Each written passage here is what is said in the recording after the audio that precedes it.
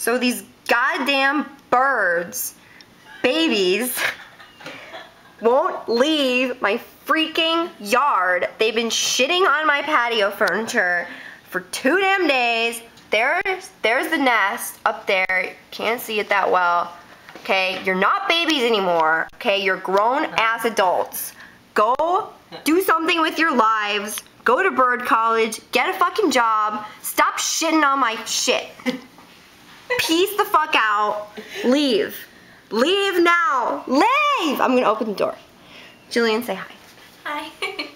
Go, go take your test. Let's see what happens.